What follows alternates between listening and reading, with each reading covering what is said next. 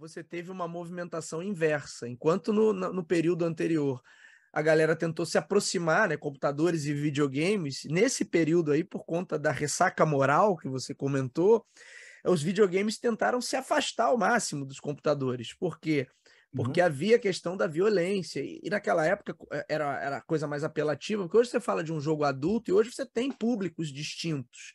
Né? Então você uhum. pode ter um jogo de fato que tem uma classificação etária para ali para maiores de 18 anos, isso não é nenhum problema. Naquela época até não, nem havia essa classificação. Né? Então, quando saiu um jogo, era um jogo. E todo mundo entendia jogo como algo para criança ou para adolescente.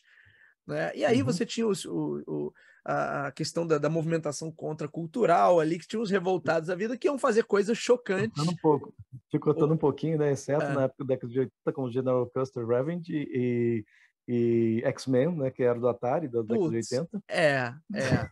é, mas esses eram eram casos assim, mais da galhofa, né? Porque ali você tinha temáticas já é, totalmente questionáveis, mas até pela questão gráfica, você não tinha nada que fosse muito ofensivo, né? Era muito mais a imaginação das pessoas e a galhofa ali, a risada da coisa.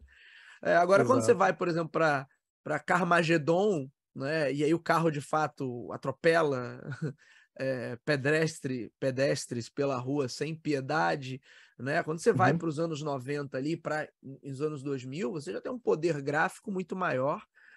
Então a uhum. violência uhum. ela é, é, graficamente representada ali, ela é visual, explícita, um uhum. explícita né? Uh, e daí, como você falou, são esses ciclos, né? Eu acho que a coisa só volta a se aproximar na geração ali do Play 2, do Dreamcast, do Xbox, porque a galera começa a pensar agora... no multiplayer, não?